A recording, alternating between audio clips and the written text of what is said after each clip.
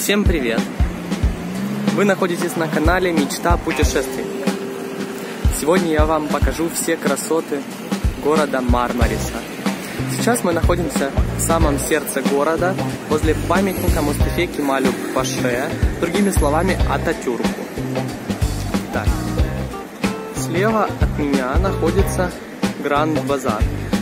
Это базар просто огромнейшего размера. Вы можете там найти буквально все. От э, текстиля до сладостей, до разной посуды национальной и так далее. На этой улочке много обменников. Поменять можно с любой валюты.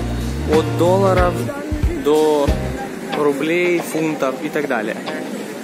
Если пойти в эту сторону, то есть налево от Мустафы Кемаля, Э, можно прийти на улицу с ночными клубами и ресторанами. Это знаменитая на весь мир улица, куда приезжают звезды мировые, чтобы покутить, так сказать. Э, также тут огромнейший причал для разных суден, на которых можно выйти в открытое море. За вот этими горами открытое море. Это бухта Средиземного моря. Если пойти направо, начинается променад, который идет до самого поселка туристического Эчеверия. Э, вдоль всего променада находятся отели. Э, на некоторые из них я снимал обзоры. Это такие отели, как Мармарис Парк, Орка Лотус и так далее. То есть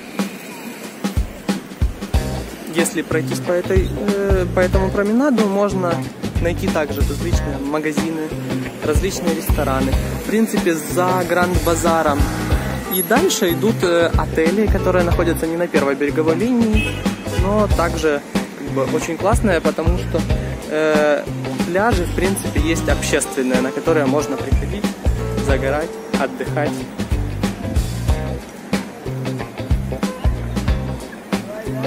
Я думаю, каждый, кто приедет в Мармарис, останется довольным.